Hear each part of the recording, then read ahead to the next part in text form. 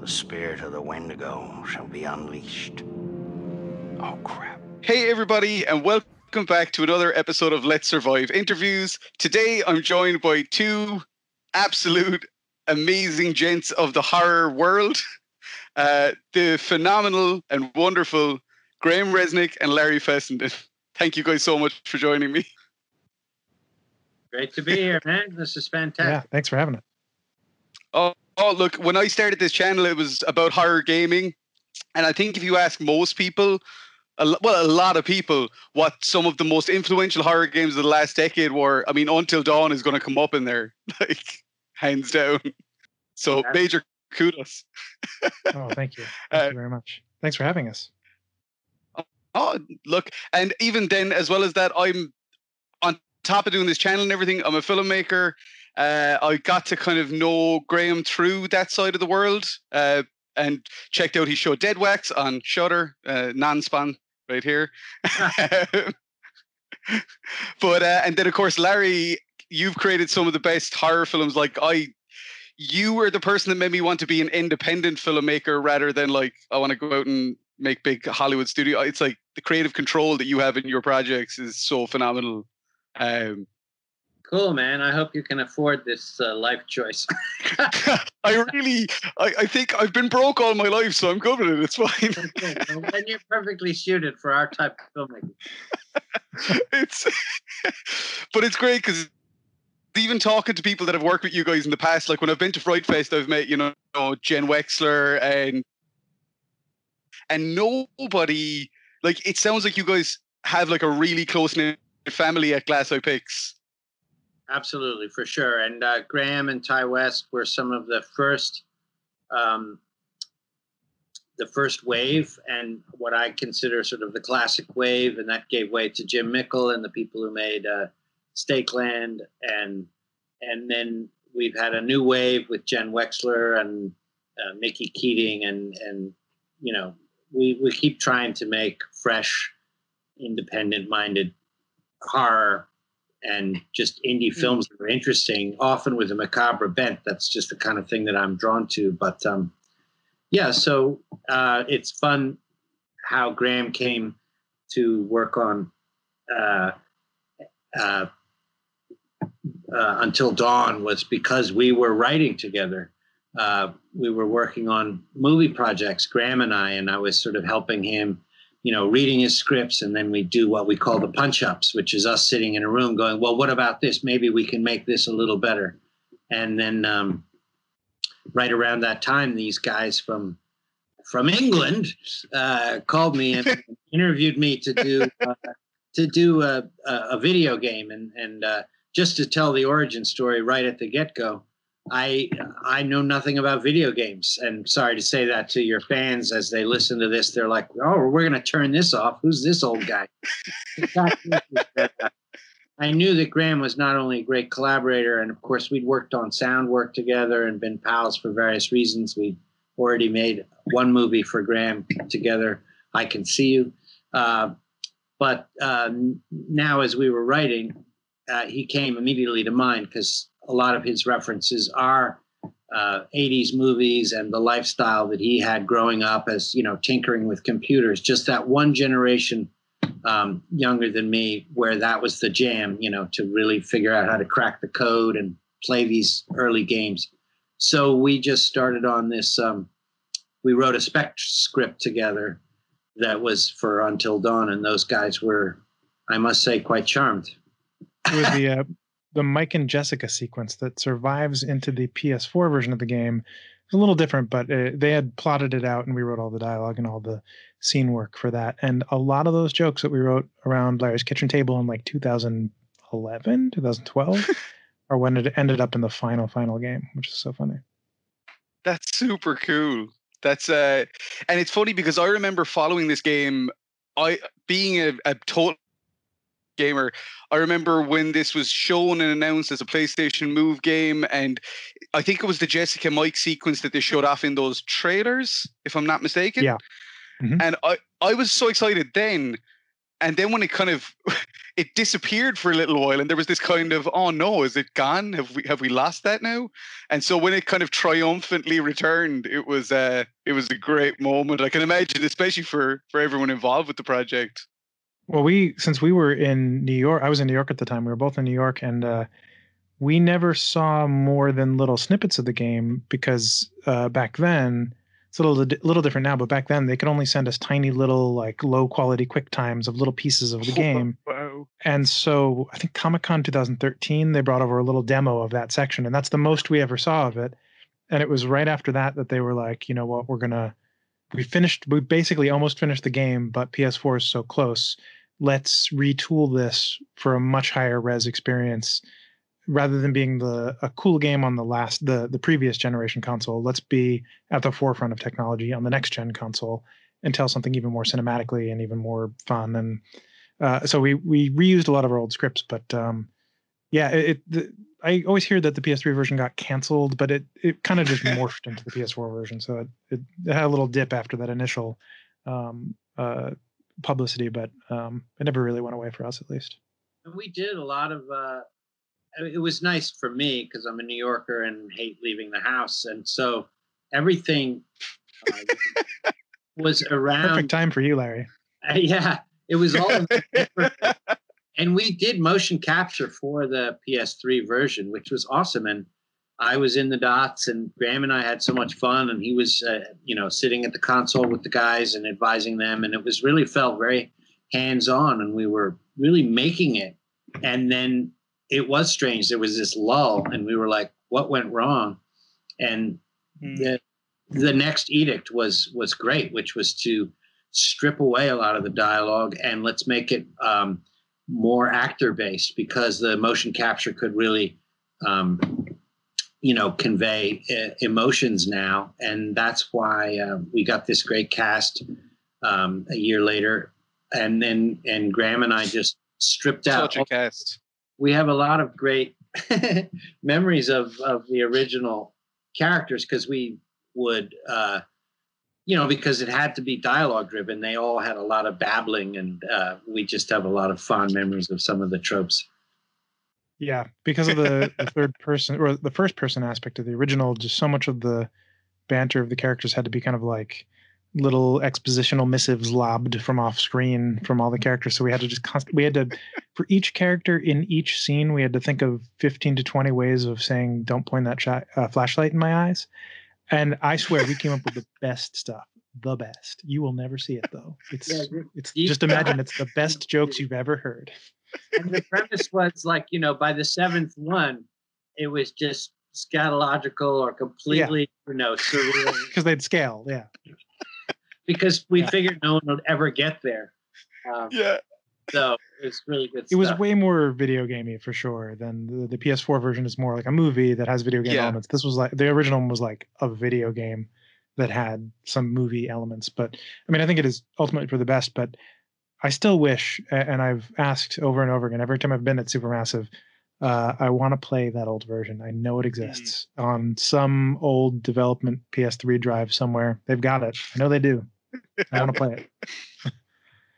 oh, I should also it's, mention. I don't know if we've ever talked about this publicly, Larry, but we we made a Glass Eye made a commercial for the Until Dawn for PS3, and it was right in that period after the game was basically done and going to come out, and so we shot this commercial upstate, and uh, it was just like a crazy, goofy bananas thing that we did. And we basically finished it and then sent it to them and then didn't hear anything. So we were like, commercial, commercial ruin the game? I mean, we still have that. I don't know. The video that we created was sort of tried, we tried to genericize it by just having random, I think they were non SAG actors, and that was the idea. So yeah. I mean, it was very low budget. Yeah.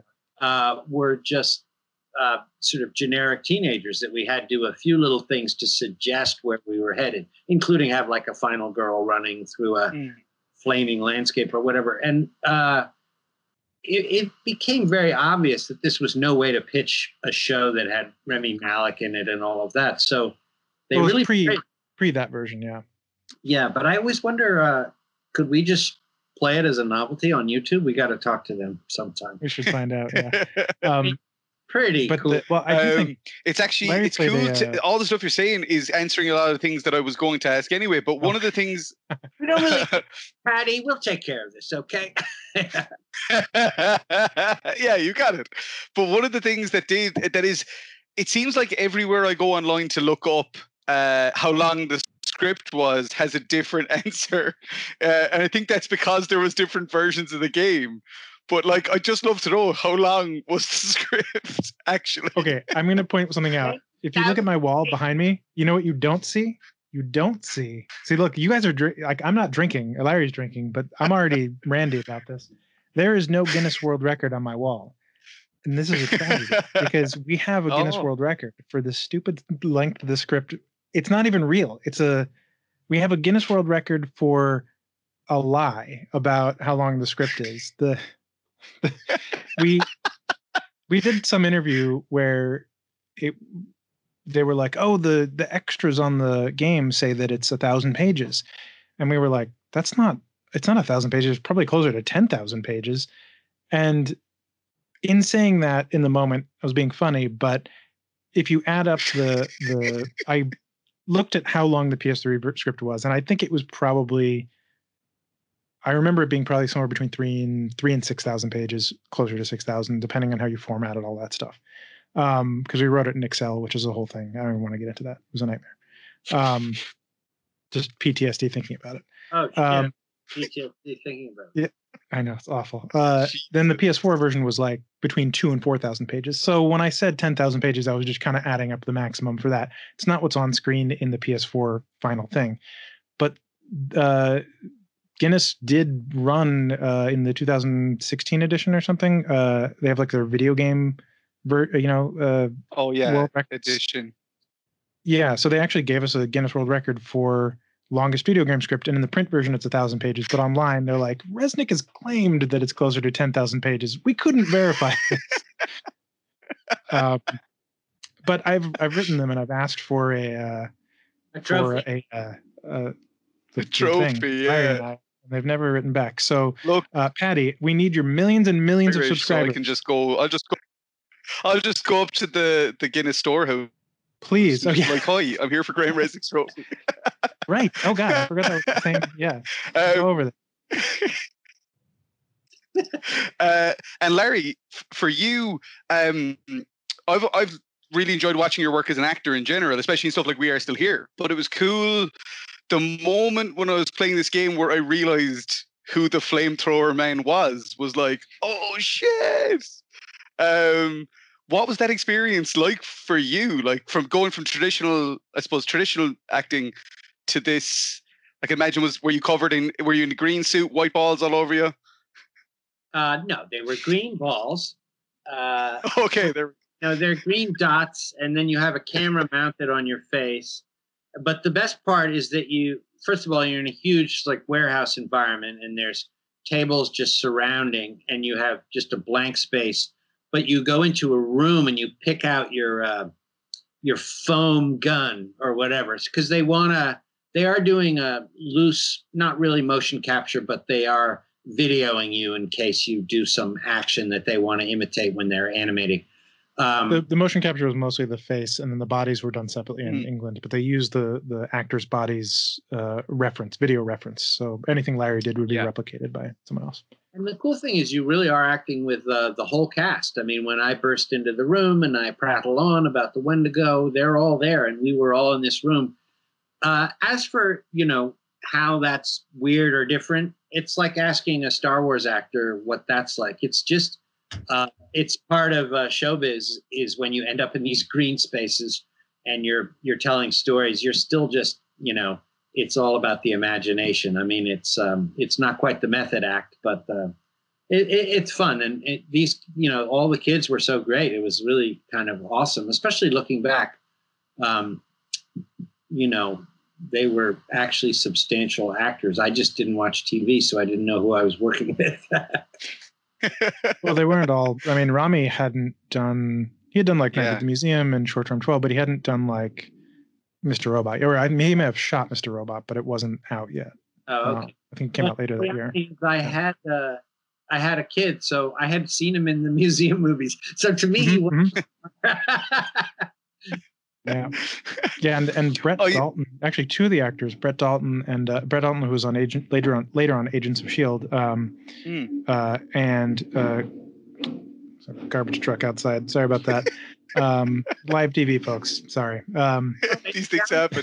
We're going to commercial. Like I thought it was the beginning of a musical interlude. um, next thing you know, Howard Stern's going to come down uh, on a crane. We're just gonna Um, pan over there's a full uh full like a band over here like playing off, off the side of the screen. um, what was I even saying? Oh, oh, Noah Fleiss, who played Chris, and Yeah. uh, Brett Dalton, who played uh, Mike, were both in the PS3 version of the game. Uh, so they actually were with us in the original version, knew all the lines, knew all the characters. They basically had a dry run of the whole thing. Um, so it was fun seeing them again, and then the rest of the cast rounding out was just like incredible. And and I, I think it was a trip for everybody because doing something that was so cinematic at the scale that we were doing it with these kinds of actors and shooting it like a film was kind of new for everyone. And and uh i mean we definitely learned a lot of stuff as we did it. Um but uh yeah it was really fun. And it was fun as a being there as a writer and just seeing how actors responded to seeing like variants of material. And they would do a scene like six different ways and then you could see kind of how their their minds worked uh, as an actor and director just seeing like oh that's how an actor interprets a scene in these different ways and kind of kind of shift into the different parallel versions and it's good to good learning experience for for all that stuff But I don't think we can leave this conversation without noting that Graham also has a major role in the uh, in the Until Dawn. Graham, perhaps you could. This is exciting. I didn't know uh, that. i don't remember any of my lines um i'm the radio announcer at the beginning because obviously i sound like a radio Oh, DJ. that makes so much sense now. I just replayed it like three days ago, and that suddenly makes so much sense. well the Which the is when they're coming up me- the mountain on the bus at the Yeah. start. yeah. I, I have a, a weird piece of performance art, which is that I'm filling out my IMDb page to make it look like I'm an actor. When really, just every time I do sound design for anything, I put myself in as a radio DJ. Uh-oh. So um, I have like 14 credits, but I always pitch shift my voice much lower, and uh, I couldn't do that when I was doing it for Until Dawn because I did it at a studio. So it's just uh, high pitched me in the in the radio. Um, Larry, yeah, Larry, do you remember your your your actual the actual character's name? Have we ever talked about that from the original Wendigo? Jack Frost? No, Jack Frost. That's another guy. Yeah, plays I, the violin. Jack Burton. no, no. Uh, well, the thing that's tragic for me, and it's so tragic that I blocked out his name, but they had, when they interviewed me, so I go into this interview with these two Brits, and I really don't know why I've been called there. Uh, and they start dropping names, like they say that the place takes place on Blackwood Mountain, and uh, I'm like, that's funny. And then they they name the uh, character uh, of of this Wendigo Slayer, and it slowly becomes clear that they're talking about Wendigos. And Blackwood is Algernon Blackwood, who wrote Wendigo, a short story uh, from years ago. And I realized that the reason I'm there is that I've made you know a movie called Wendigo, a movie called Last Winter, a movie called um, Skin and Bones, all with Wendigos in it. So I'm sort of known as the Wendigo guy. The Wendigo guy. Jack Fiddler is the historical name yes. of a famous Wendigo hunter from um, from you know the 1800s who got all you know uh, has been chronicled, and they were gonna name the character Jack Fiddler, and I was excited because I actually was able to say, "Oh, I know who Jack Fiddler is," and that's when I think I got the gig. so, uh, they were like, "This dude is so into the minutia of Wendigo lore." Um, in the end, it's rather sad. It seems that Sony felt that they couldn't, um, you know, that there'd be uh, the Fiddler family would come after them. um, so I was demoted to flamethrower guy or the stranger, uh, both of which are relatively charming, but not as fun as reference for this really historical character who you can look up, and there's photos of him and he's just some badass dude who I guess killed killed Wendigos. Killed Wendigos. That's a really cool story because yeah, like I mean, I I wasn't sure about when I first played the game and you burst in and I realized it was you. Immediately, my mind went Wendigos. That's why Larry is here. It's Wendigos.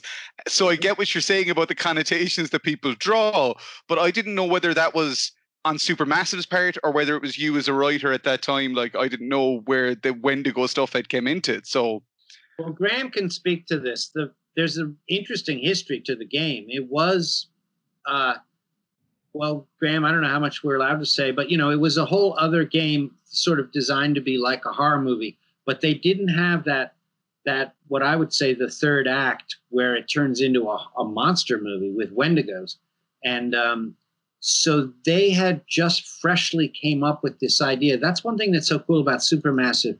The two guys that run the place really love their deep research, and they sort of they go into these different uh, folkloric things and, and and reference history and stuff. They're just they're uh, so they had imagined bringing this game back to life by adding this element and that's when they thought oh well we'll find some wendigo guy so it wasn't me and graham it was something that they had uh, introduced mm. into the structure of the game, and then we were required to, you know, write these characters and and that situation. We just brought all the ridiculous jokes. Um, the the original original version, I think, was uh, London Studios, and it was, um, I believe, a few years ago, someone leaked the London Studios material, which I had never seen before until well after our version came out. But it was being uh, pushed in or just uh, written up about in the media as the PS3 version, which it is not. It was the um. The original London Studios version that came out, and it's like an hour of test gameplay, and I think there are just like some similar locations and character names, but that's about where the similarities end. And I never saw any of that material um, when we came in. It was with Supermassive already for a while, and they um, they had kind of retooled it as Larry said, and then and then we were brought in to kind of flesh it out. It was so interesting to me because I was a game developer myself back between 2009 2012, making small little indie games with a little studio here in Ireland. But we knew Supermassive back then, and they oh, had they just made like a little puzzle game where mm-hmm. you had your Tumble. PlayStation Move controllers, Tumble, and you yeah. had to. It was basically Jenga, and to yeah. see them going from that to like as I say, when I saw the first Until Dawn trailer, I was like, oh man, we are so far behind these guys. Like we could never make a game of this caliber. Um, it was a crazy jump from a simple little puzzle game to a cinematic story, you know. Um, but then actually, you guys also worked on subsequent games of Supermassive games. You, you you worked on Rush of Blood and you you worked on Man of Medan. Mm-hmm. Am I? Yeah, and I should say actually, I feel like um, uh, Rush of Blood um, I feel like Larry, your character in that is like an extension of the character you played in that little commercial that we did. Like that was that little host, the, the kind of the host character. That's true. I wonder if they were just like inspired or thought, oh well, we'll do that. Like in the commercial, um, what we did is we found this weird upstate um, horror, uh, outdoor horror thing, like a Halloween. Headless event. Horseman. Yeah. Yeah, where they would have, you know, a Bates Motel type of set. And as as a as a visitor, you would go in and you'd have sort of a real life experience, somebody be screaming in the corner, like a haunted house. Um, it was a haunted hayride yeah. kind of thing. Yeah. And yeah. it was cool because we were able to use those sets as if we, you know, built an elaborate set. And then my character was kind of this, um, you know, this host character, sort of teasing the audience that there was this great game to play. I don't even remember, but just like the poor little children are all going to be slaughtered and you must uh, mm. visit. So that oh, when you lived in the uh, the castle from Last Days, Gus Van Sant's movie. What's amazing, yeah. So that was in the what? so we filmed the first two shots there, and I had you know cards, and it was all about fate, big and fire, and uh, yeah. No, that's like, crazy. We, uh, Graham, we've got to see if they'll let us just release it. It's so random that why not? Uh, but anyway, so from there, they sort of devised this idea of an evil clown host um, for a much more straightforward. What do you call that? It's a roller coaster game.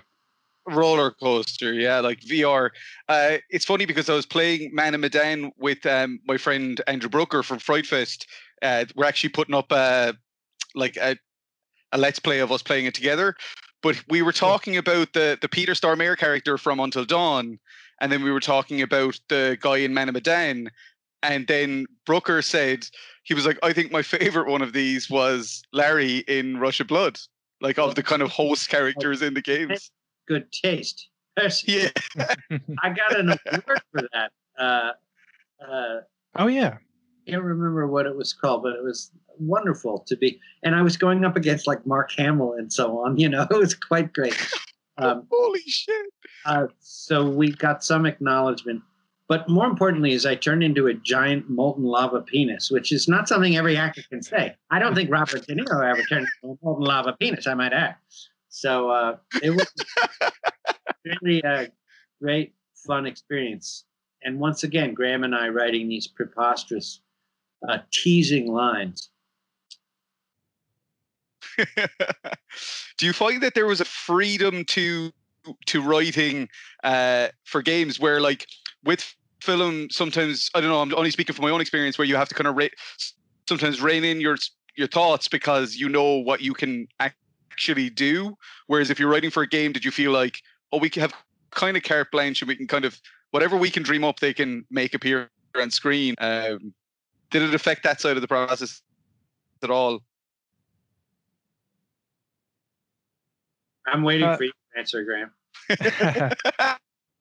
It- it's it's a it's sort of a yes and no because the way that our relationship with Supermassive has worked has been that they have we've often consulted at the outset on plots and ideas and storylines and then they design the scenes and the structure of the game um, and that what they do they do what they call spec so they spec it out. So every like beat of the game has like a a spec request which is like um, it's like a giant flow chart and then we have to fill in the dialogue and the scene work within every little piece of the flow chart.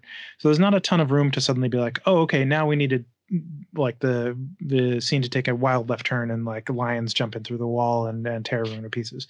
Can't really do that um, at that stage uh, but what you can do is from a a more sort of emotional character perspective feel out like all these different versions of a scene that you never would in film. Like you in film, you may run through that in your head, but there's always one static, traditional linear version of a scene, and that's the one that plays out.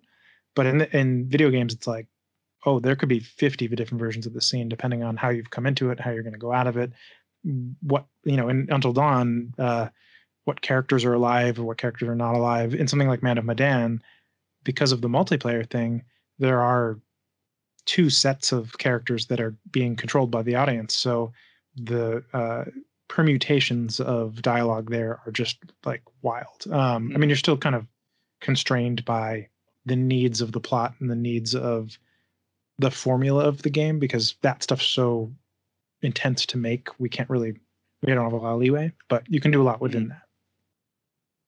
And that's why this discussion of the 10,000 pages isn't entirely facetious because it really felt like we did explore, um, you know, 20 different emotional tracks for the characters. You know, uh, Graham is much better at recounting all the details, but, you know, when the guy's, uh, you know, he's got the, the two people are uh, facing each other and they, she's got the gun or he's got the gun he's going to Yeah. shoot you know that that Chris whole and it's an amazing um, elaborate alternative and emotional you know we tried to be emotionally real. I think that was the success that we brought to until dawn. And it's why they came to me and glass eye pix. They they had liked our approach to horror which was sort of uh, emotionally uh, grounded uh, not just sort of exploitation so we tried to bring that to these choice points where it really is like, what would it be like if your choice is to kill yourself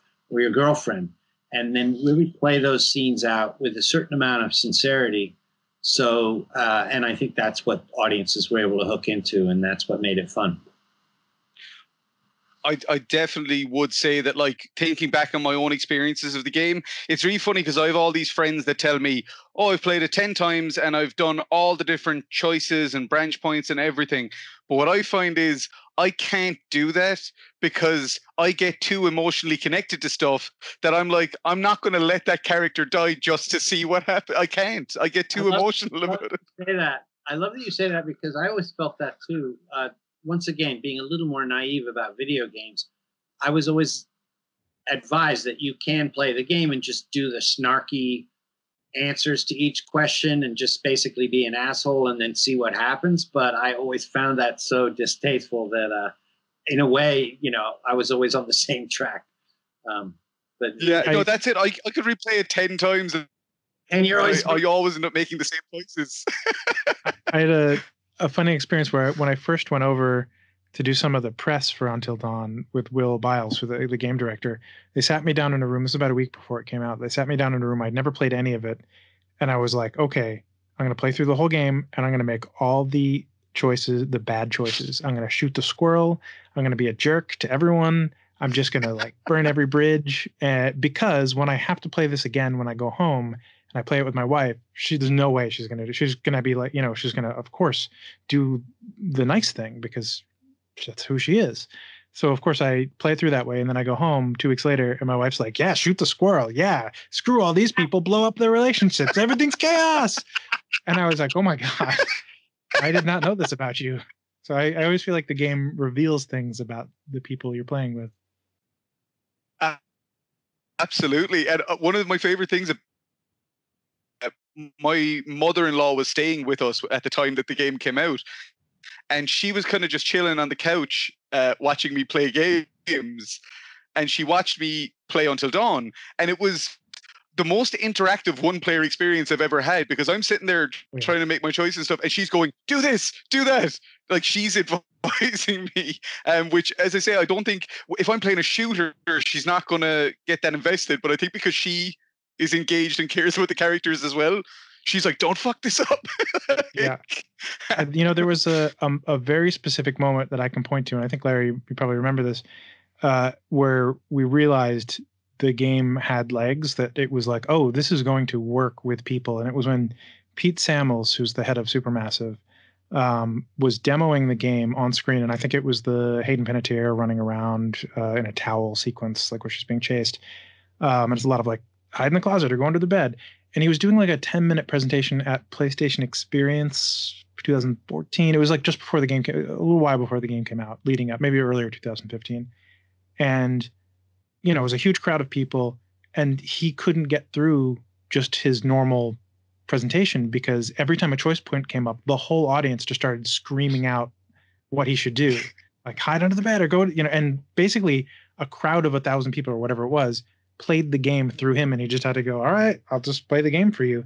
And it was like oh yeah that's a game like this is that. It's the game where in a horror movie and you're telling people when you're yelling at the screen and saying don't go in the basement this literally is the game where you get to actually experience that and make those mistakes and realize that those characters in the horror movies aren't thinking straight and they're under duress and they're you know they're you know they're panicking. And then you panic and you make mistakes and you hit the wrong buttons and you fall into a meat grinder as you do as one does. One of the Mhm. oh, sorry, go ahead, Larry. No, I'm just agreeing, as one does. Uh, as I say, I've just started playing Man of Medan in co-op with uh, Brooker for the channel, and Medan, I'm a lot more prone to make choices based on what I think the character is like. So the example of that that I'll give is that I think Shawn Ashmore's character is a bit of a dick, so I play Shawn Ashmore's character like that. Whereas there's obviously a choice not to, but it's just whatever it is about the way that I perceive Shawn Ashmore's character in it, probably from seeing Shawn Ashmore and other stuff and playing other stuff with like uh, Quantum Break, I just make these kind of assumptions that like, oh yeah, he's going to be an absolute dick about this, but it's like I'm making that choice. Like I'm making Shawn Ashmore a dick. Um, but yeah, the, the multiplayer component of Man of Medan is really interesting, and I imagine that that had to be fairly tricky as well to kind of for you guys that all, all these things are going to be happening simultaneously. yeah I'm just reflecting on uh, the experience of that game was was really a long journey. Um, there were a couple of different developers, and so Graham well, all, all supermassive, but internally. Well, yeah, yeah. But I mean, uh, guys, you know, mm, oh yeah, uh, assigned to the task, and uh, we were even over there and face to face and sort of getting excited about the game and its potential. And and there was a lot of uh, mythology involved in it that we got Graham and I dove deep into. And then they i think they sort of ended up stripping some of it away. I mean we were sort of primed to make another until dawn that was that rich and that sort of expansive. But in truth they were picturing this as part of that series whatever it's called graham. So they didn't want to get quite as invested. And and so it changed a couple times for us i mean it was really fun doing the research um, and and in the end i think it became about the whatever it's called, the dual play, that sort of became sort of mm. in a way the the real motivation of the of the design of the game, and it was fun. I mean, but uh, just one of the every every game has a different experience, you know. Definitely, and I th- I think like uh, it's very hard as well. It, it's it's like a, a band that releases that incredible debut album yeah. that like everything's going to be compared to that afterwards. And uh, I think that so for a lot of people who went into Man of they were expecting it to be another Until Dawn, but it was it was a sh- shorter development time. It's a smaller game. It's pay, it's it's price cheaper. It's meant to be a small anthology game. So I think that a lot of people weren't they didn't understand that. They just thought this is Until Dawn two, without you know. And actually, it's interesting because I remember when those guys, um, Eden Will, told us that through whatever their research, that it was going to sell better to have shorter games. And I remember feeling depressed because it seemed like the success of Until Dawn was its immersion and the, the commitment mm. that you have to the characters and everything. Um, and then, but this was just going to be a slightly different uh, model. And as you say, it was also an anthology. Uh, mm. So there were going to be other games similar. I mean, all of which seemed appealing at the time. Um, yeah, it was a, a, different experience and, and had different goals, and uh, the tone is a little different too. Um, but yeah, I mean, it, it, it is such a wild west type of project where I, I just don't know of anything that's attempted that scale of multiplayer interaction and at a cinematic branching dialogue level um, that it, it, makes sense that narrative and dialogue and character are in some ways and this is not at all a negative in some ways uh, secondary to the mechanics of that working. We did what we could to uh, uh, maintain a level of character arcs and trajectories through that um, every time you do a game you wish you knew what you knew at the end at the beginning um, but I still look at what we did on that and go, oh yeah, that worked out pretty well. Like I'm really happy with how these things combine and how this plays out. And it because it was just such a like yeah, when we're doing this on paper, uh, before they've built everything, we're just like, I have no idea how this is all going to fit together later. We're just trying to anticipate how these conversations are going to mesh and what the actual user experience is going to be like. And it's uh so it's a wild new new space. And the other thing that um, you know supermassive does so well is just choose and create these environments i mean i just love it on an aesthetic level the the ambition to have the underwater stuff and and i you know that's what i love about until dawn is that lodge the setting and all of that mm. um, i'm sure you're aware that there all the posters in the cinema room the cinema room cinema room which is what they called the theater in the in the lodge uh, where she goes through. But uh, all those posters are our movies. Yeah. Uh, from Glass Eye Pix, which was just so. Well, except for except for our movies, all the movies except for our. Ours were excluded. Graham and my movies. What was that about? Uh, but meta. They they were very affectionate towards Glass Eye um, back yeah. in the day, and with all those little Easter eggs, it was very sweet. But uh, I think that the, there's something about yeah, like with Until Dawn, it's I'm I'm a horror fanatic. I've been a horror fanatic since since I was five years old when I accidentally snuck in and watched Nightmare on Elm Street with my grandma. um, and I when I played Until Dawn, it didn't feel like a cynical thing that was, was like, oh, we know what horror kids like. It felt like it was made by people who love the genre and understand the genre. And, and sometimes they say, especially in gaming, you don't get that. You do get a very cynical approach to that type of subject matter. But even, I mean, if you could speak a little bit to this, but like, I love how you guys played with tropes. Like, you really played with tropes in it, it almost as much as stuff like Scream and Cabin in the Woods did, where you have this expectation about a character that they're stereotype. And then depending on how you play it, you come to realize that you're completely wrong. So that was, I mean, messing with the tropes like that was so amazing.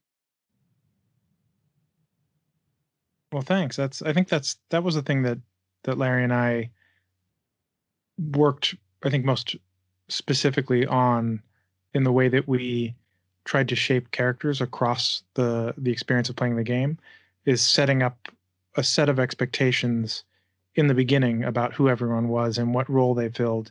And then through the actions of the game which was a lot of which was supermassive's uh, part we would then shift who those characters were so that you might ne- like absolutely hate Mike at the beginning, like but jerk, jock, asshole, and then come to realize, oh, he's not that bad of a guy. He's just put up this mask and he's just acting in this way. And when when the shit hits the fan, the way that you are, what you're bringing to him, shifts him towards a better person or a better character.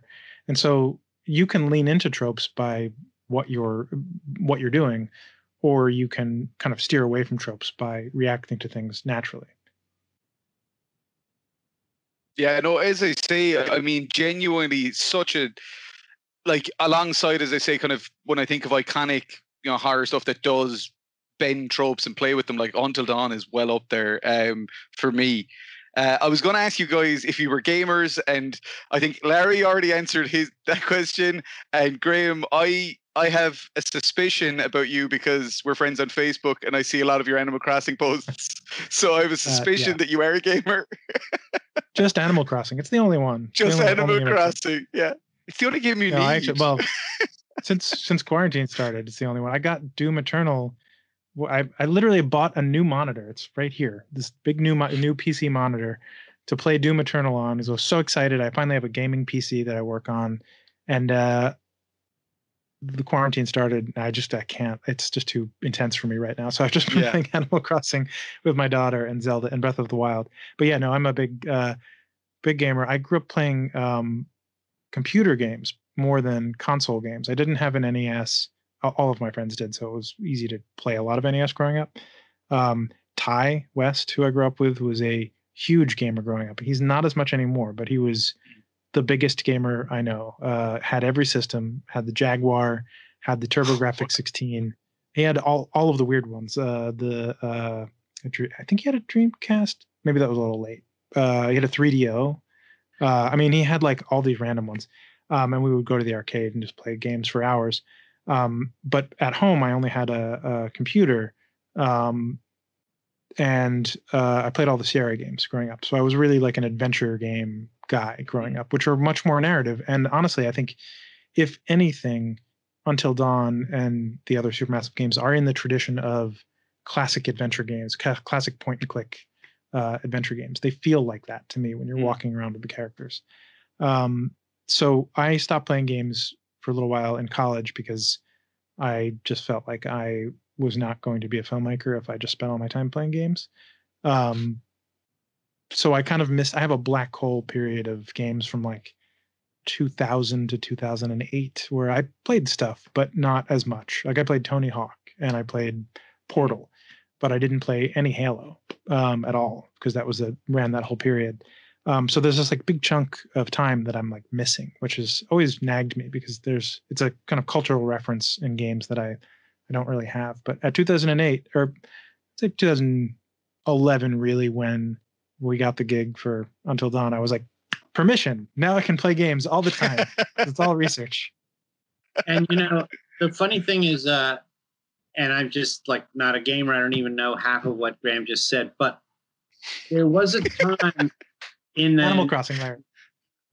in the 90s when I would be in like a, a video class or something. I went to NYU undergraduate and they would talk about laser discs and that you'd be able to jump from chapter to chapter according to, you know, the, the audience choice.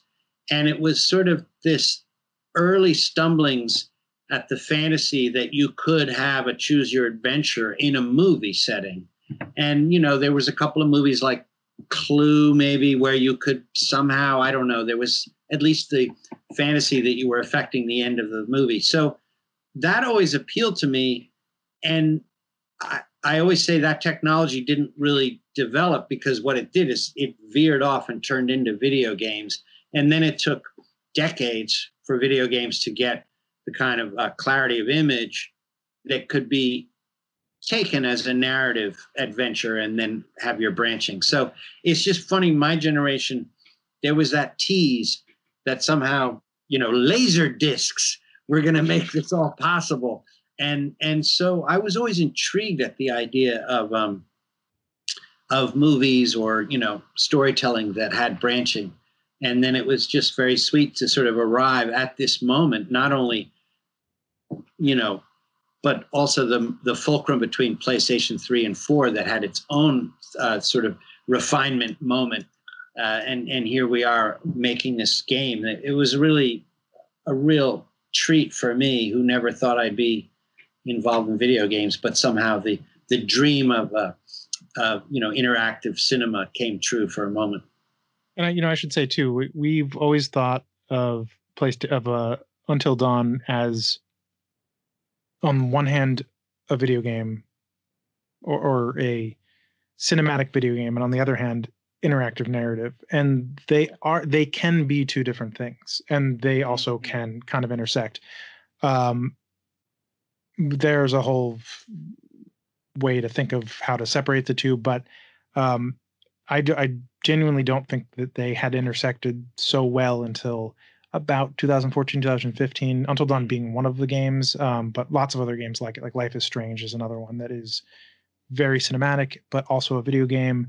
So it's partially interactive narrative it's partially uh, a cinematic video game. Sam barlow does a lot of work her story is And another one.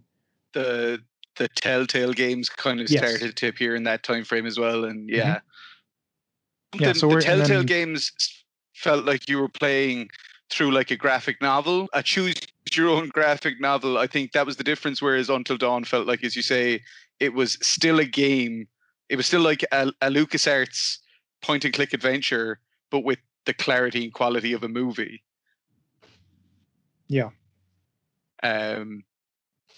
So Larry, were you, I'm uh, not sure. What? oh, Oh, no, sorry go uh, ahead. i was just going to say uh, were you referring to dragon's lair the don bluth uh, game the laserdisc game or do you remember that was a Uh, classic uh, laserdisc game Oh, that's sweet. No, of course I don't remember. I don't have a clue. Although I, Yeah. I, I like a picture called Dragon's Lair. That sounds just like up my alley. Yeah. it was uh, also an arcade game that was famous for eating quarters because it was uh, nearly impossible, but incredible animation by Don Bluth. Oh, It was, and I think the animation was done in Dublin. I think Bluth Studios was still Oh. here at that time. Uh, um, but yeah, I, I think we've. I mean, I think we've covered a lot of stuff here. I don't want to keep you guys forever either, which I'm kind of doing, so I apologize. But uh, I guess just uh, to kind of clo- close this out, what would you say is kind of like in in regards to the games that you've worked on? What are, what what are some of your proudest moments um, within Until Dawn or, or you know, Rush of Blood or any of the things you've worked on? Well, I just want to say quickly because I would like to point out that Graham continues on in this world, and I've retreated back to the old cinema. Uh, but um, you know, we haven't talked about. Uh, of course, I don't even remember what it's called, Graham. Hidden, you know, Oh, Hidden Agenda and the Inpatient. Yeah. hidden agenda. Well, the inpatient was cool, and that is related to in, Until Dawn. So that was another one we did for Supermassive. But we did this film Oh, noir. didn't. Uh, so by all means, tell the fans the inpatient Yeah. is, is another cool. Um, Awesome. and you know, it's got Wendigos and everything. Although I guess that's a spoiler. But it's um, a it's a it's a prequel to Until Dawn about Oh, the, very um, cool. the sanitarium, uh, and it's all in VR, which is awesome. So it's like you're a patient at the sanitarium. How did uh, I miss that? I totally Yeah. even when I got the VR, like, and I was getting everything. I don't know how I missed that. Oh, check it out! Yeah, it's so it's more of a proper Until Dawn tie-in than Rush of Blood, but it's not called Mm. like Until Dawn the Inpatient. It's just called the Inpatient. So you could miss that it's a tie. I think they were trying to like surprise people, maybe. I don't know. Yeah. Um, but uh, it is definitely a straight prequel to Until Dawn.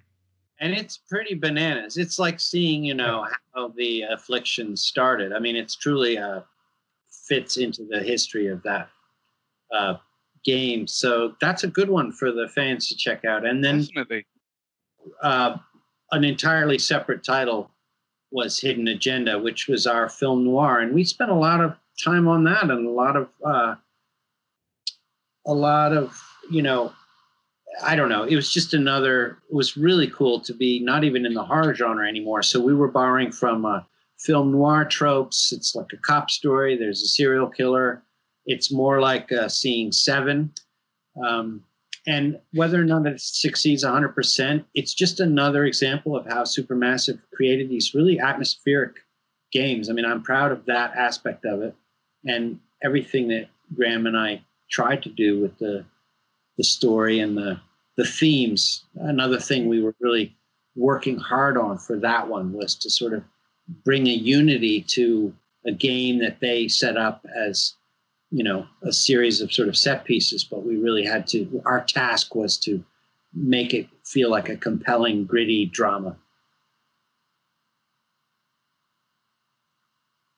Um, I think actually Hidden Agenda is one that I've seen on the PlayStation Store a bunch of times, and it's got a really interesting cover, but I've never took the plunge. But I think now I've been now I've got to basically go in and get the inpatient and Hidden Agenda. So uh, because as I say, I didn't know the inpatient was related Until Dawn at all. I actually didn't know either of them were supermassive games. So hopefully, in one sense, hopefully a lot of people that are watching this are similar because hopefully this will be a chance for them to discover those games. That would be great because it's always nice when you get that new discovery. Well, if- Um, completionists as i am you have to sort of uh, you know you at least get the inpatient because that's part of your until dawn shelf uh, and then have, uh, see if hidden agenda floats your boat it's it's pretty cool Yeah, is it's that actually, a live uh, action, or is it like It's- like Until Dawn?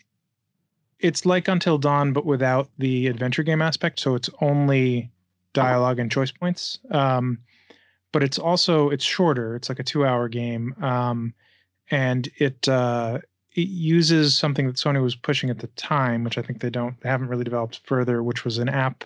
You so you play it on your phone and connect to the PlayStation, and you you if you play with like four or five people, yeah, PlayLink, you can you can uh, uh, Yeah. vote on choices. So they actually took that experience that Pete Samuels had at PlayStation Experience to heart and made it part of the experience of playing this game. I don't know how well that succeeds or not, um, but it was fun to write, and that's another one where what we wrote and what I think ended up in the game, there's some differences uh, just because of the development cycle and and budgets and things like that. But I think um, you know it it still works for what it is, and it's a really fun, interesting, like Law and Order style procedural that you can interact with, which is really cool. And Katie Cassidy stars in it from like Arrow and and the CW shows. Very cool. And Larry, you said uh, yourself there that you've you're you've returned to the world of film, um, which I have to say I'm very grateful because I was at Fright Fest last year with my movie, and I got to see Depraved, and I was me and my wife watched it together, and we were fucking amazed. No bullshit. We loved it so much. Thanks. And similarly, Graham, Deadwax, uh, we binged it, we loved it, and we want season two. So I'm just going to keep hounding Shudder until they make it happen. They're fucking But- close. I yeah, mean, exactly. they ought to listen to you. Yeah, And super. Paddy, what is the what is but the uh, Larry, you- for, Oh, I was going to say, I know your your film was going to premiere in L.A. in in March, right? Is it? Uh, are there any like new plans for that, or is it going to come out online? Uh, oh, it's on VOD in Oh, the right, states now. Uh, uh, so it's it's up on all the VOD platforms, I believe. Uh, distributor called the Horror Collective put it out Cool. Uh, Congrats. it's the first film I've done that's had a what I consider a proper release. Like Congrats. That's awesome. man. directing being like, but uh, I yeah uh, yeah uh, I was supposed to come to LA for for on the seventh of April, and obviously with everything that happened in the world, that did not happen. So probably for the best. I'd probably still be in LA. But, mm, Yeah. I don't know. yeah. Well, next time uh, you'll you'll be back again, I'm sure, and, uh, Oh, and we'll get a drink. Definitely. My first ever trip to the States was in January, and I went to Kansas City for Panic Fest. And uh, I had an absolute blast. Kansas City is a, is a great place to, to Oh, I've never like. been there. It's an interesting one for like somebody who's never been to the States to not go to New York or not go to LA to just land in Kansas City. Like right in the middle. talk about fish out of water. Um, but uh, what I was kind of getting at there, Larry, for you is that like we've talked about kind of your proudest moments with the, with with kind of within the gaming sphere, but I, because I'm also a filmmaker as well and I love film. Like, what are some of your I mean, what are some of your proudest moments as a filmmaker? Uh, well, I find filmmaking generally humiliating, and you know, you're just trying to, uh, you know, but Say- but I was um, I was grateful to finally just say fuck it and made Depraved with a considerably smaller budget than I had imagined and a, a less noteworthy cast. Though I think my thespians are fantastic, but you know, I had imagined it as more of a prestige picture where uh, some actors of of note would would deign to be in a horror film and that it would be elevated and all that all these terminologies. But in the end i sort of realized my place is on the edges of uh, of of hollywood and and the showbiz. And so i just made it uh, from the heart. And so i'm pleased with um, sort of learning my own lesson. That's how I brought up all these young filmmakers and tried to get people to just shut up and make their movie and stop whining about their budgets. So I had to learn that lesson again for myself. And in that regard, I'm I'm very uh, grateful that I was able to have that moment of clarity and just go for it. It's still hard to find no money, but um, it's better than waiting around for real money. So that's and I will say, since Graham is here, you know, I I'm so sort of battered by showbiz and that I just I didn't really take anyone's counsel. Of course, the wonderful people who helped me make the film, but I stopped even listening to them when you know I just edited it. I made my own choices. I wanted to get as true to my own vision as possible. And then I was about to picture lock, and I sort of had a slight panic.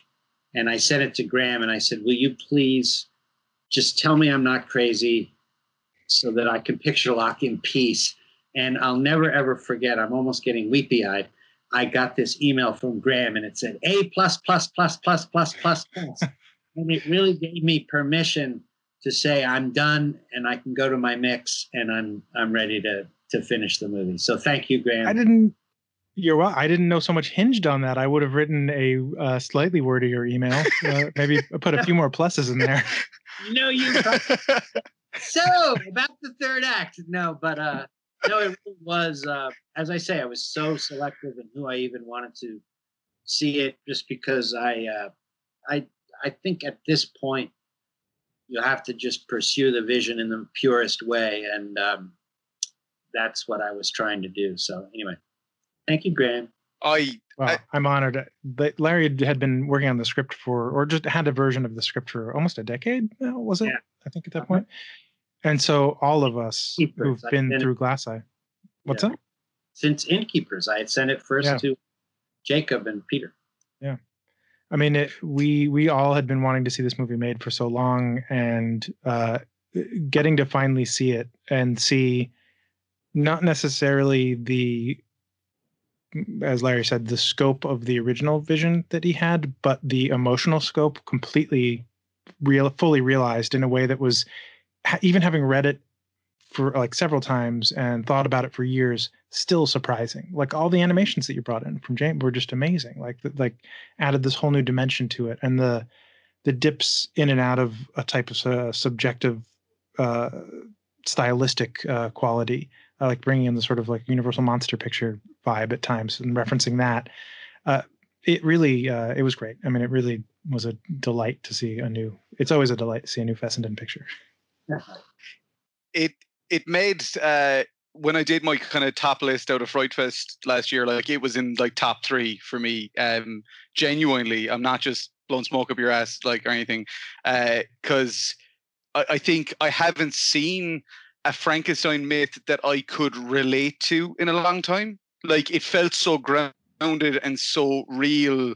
So, um, working working man, working class, working class Frankenstein. Um, it didn't feel as it's funny because what you're saying about the scope, I don't know for not knowing any of that, I just felt like it was so relatable uh, to just me as an average Joe looking at these characters and kind of identifying with several of them, you know. Uh, but yeah, I uh, if anybody watching this, Depraved is available, etc. I believe at this point, and just go check it out. Uh, it's it's phenomenal. Uh, and especially if you're a fan of Frankenstein monsters and anything like that, or just good emotional, compelling drama, check it out. Thanks, guys. Uh, and likewise, uh, Deadwax is on Shudder. Uh, one of my favorite things I've seen today is that Graham had recreated the op- one of the opening shots from Deadwax in Animal Crossing, which I thought was absolutely phenomenal. the little things that are getting uh, quarantine. That's we all my own them, man. Animal Crossing. Guys, uh, thank you, you both so much. Talked to me last week.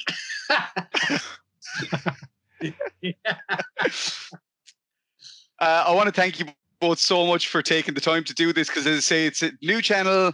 I'm just trying to get people interested and involved and uh, shine light on some stuff. And uh, yeah, thank you guys so much for taking time out to really appreciate yeah, thank, it. Thanks thank you for having us, Paddy. This is awesome. Really fun. No problem. So there you have it, guys. That was my interview with the incredible Graham Reznick and Larry Fessenden. Now, I want to be very clear here that I am a gigantic, gigantic Larry Fessenden and Glass Eye Pix fan. I was not. This is not me just saying it because Larry is on the show. I I am a huge fan of Larry's movies and of uh, everyone from Glass Eye Pix movies. I've loved. Uh, Jenn Wexler is one of my favorite filmmakers. Uh, Eric Pennycoff, who worked, who interned at Glass Eye Pix, his film Sadistic Intentions is incredible. I uh, Graham's own Deadwax, absolutely stunning. You know. I'm not exaggerating when I when I big up how much I love. I've always said I will not champion something unless I truly love it, and I love Larry. I love Graham. I love Glass Eye Pix. So it was beyond an honor and beyond a pleasure to do this episode of the show. And I hope you guys enjoyed it because, I mean, Until Dawn really has become uh, one of the most iconic horror games of the past decade, easily, hands down. Uh, so for me to get a chance to talk to the guys who were partially responsible for that game's existence, just blows my friggin' mind. I'd love to get the chance to eventually talk to someone from uh, Supermassive Games like Pete Samuels because I am fascinated by Supermassive Games and what they do.